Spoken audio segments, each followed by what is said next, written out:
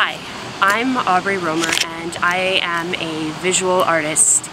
I am launching a Kickstarter campaign to fund travel throughout the States and internationally for several projects. Over the course of this past summer, I've been working on a project titled Leviathan, the Montauk Portrait Project, in which I painted hundreds of residents of the Long Island fishing town Montauk on linens donated and forged from the community.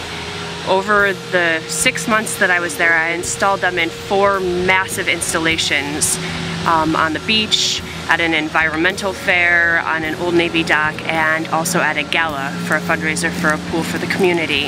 I am trying to do the same thing or similar in Chichigalpa, Nicaragua. It's going to be on long banners and installed in front of sugarcane fields, detailing the chronic kidney disease and chronic renal failure epidemic in Chichigalpa and then in Indonesia with the Buginese. And the Buginese are these really excellent seafaring uh, indigenous folk in Indonesia scattered throughout the islands and I want to go there and paint them on these sails and then sail the ship through the ocean.